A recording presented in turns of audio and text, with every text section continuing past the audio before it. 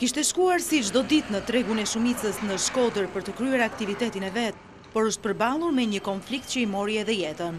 Bëhet fjalë për pesëdhjetë vjeçarin Dedë Xhakaj, i cili është qëlluar me pistoletë mëngjesin e kësaj të diele, brenda ambienteve të tregut ku shiste fruta perime.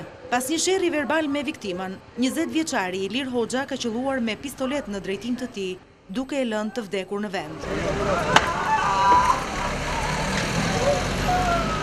Nuk ka kaluar kohë dhe autori i krimit është arrestuar në banesën e tij nga forcat e Policisë së Shkodrës. Sipas Policisë, të dy personat janë përplasur për një borxh të vjetër që pesëdhjetë vjeçari nga Malësia e Madhe i kishte të riut nga Shkodra.